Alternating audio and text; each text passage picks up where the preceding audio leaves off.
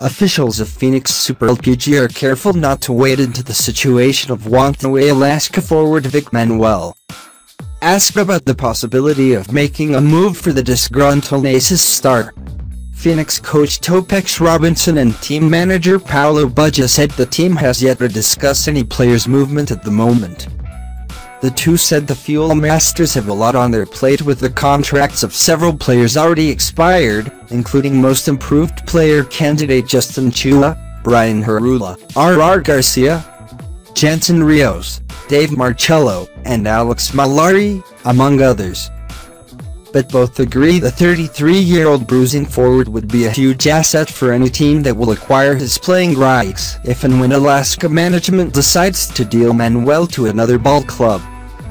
On Friday, Manuel said he'd rather be traded by the Aces after not hearing from the team after Alaska's Philippine Cup campaign in the bubble ended.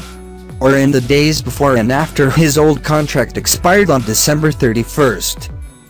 Manuel was given by the franchise a one-year offer worth the same as his previous deal and coursed through his agent Danny Espiritu, with a clause that he will be given another year if he performed well in the first conference of next season.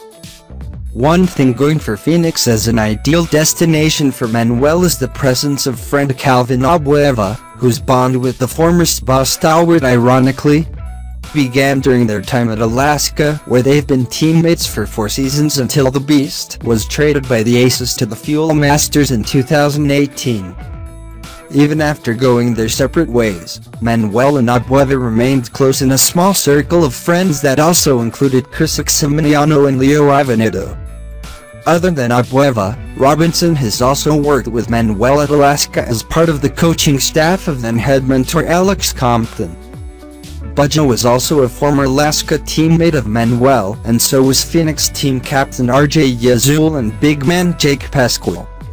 Abueva, 32, just recently signed a fresh, three-year max contract with the Fuel Masters following his successful return from a 16-month suspension to give Phoenix's campaign in the Philippine Cup bubble an added boost.